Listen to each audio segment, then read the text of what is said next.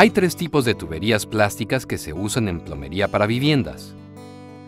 La CPVC de diámetro estrecho se usa en lugar del cobre en líneas de entrada de agua. PVC y ABS son más anchas y se usan para desagüe.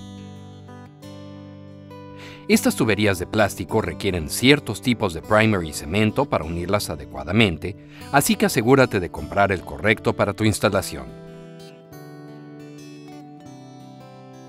Los solventes pueden ser volátiles, así que debes tener mucha ventilación y estar seguro de que no haya fuentes de llamas o chispas en el área de trabajo. Corta la tubería al largo deseado con un cortador de tuberías plásticas o con una combinación de sierra y caja de ingletes para que quede un corte recto. Usa una herramienta de desbaste para desbastar el extremo cortado de la tubería.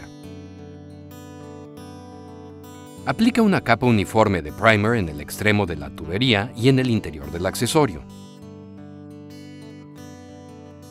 Esto suaviza un poco el plástico para prepararlo para el cemento. Ten cuidado con el primer ya que manchará permanentemente cualquier cosa que toque.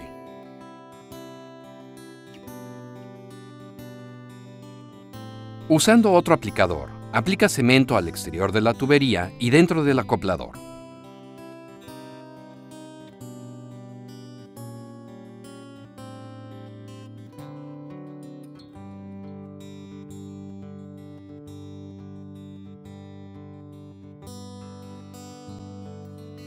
Rápido y con cuidado, desliza la tubería hasta el fondo del acoplador, dándole un giro ligero para distribuir el cemento. Sostén la unión por unos 10 segundos. Es normal que las uniones se sientan ligeramente tibias mientras el pegamento se seca.